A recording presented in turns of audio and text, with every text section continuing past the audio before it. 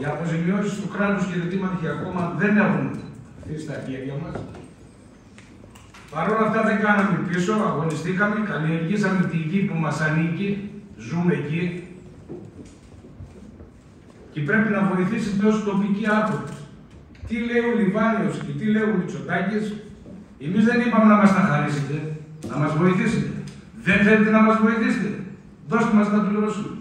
Δώστε μας συμφωνητικά σε 10 μέρες πρέπει να κάνουμε δίπλωση καλλιεργίας. Πότε θα κάνουμε; Εσείς θέλετε τώρα να κάνετε έξωση, να πάρετε ενίκεια χωρίς να έχουμε συμφωνητικό εμεί.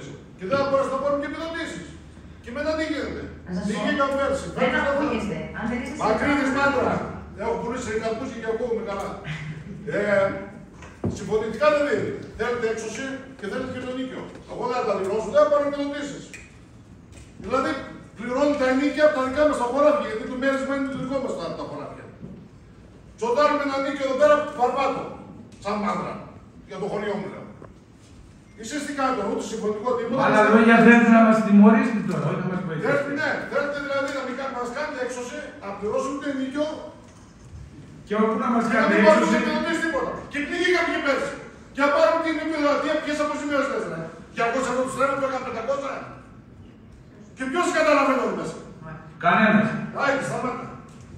Για κανένας. πέστε μου τώρα τι λύση να βρούμε. Γιατί Δήμαρχε, δεν ήρθαμε τα Χριστούγεννα την παραμονή προεκλογικά και οι δύο υποψήφοι δήμαρχοι δηλώσατε ότι θα βοηθήσετε και εσείς και ο προηγούμενος.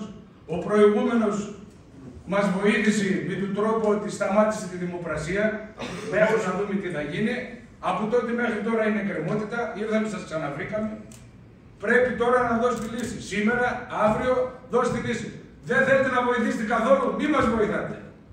Θα έχουν Δώσε μας να τα πληρώσουμε, να πάρουμε τα συμφωνητικά μας, να πάμε να κάνουμε τη δουλειά μας να ζήσουμε. Όχι να οικονομήσουμε, να ζήσουμε.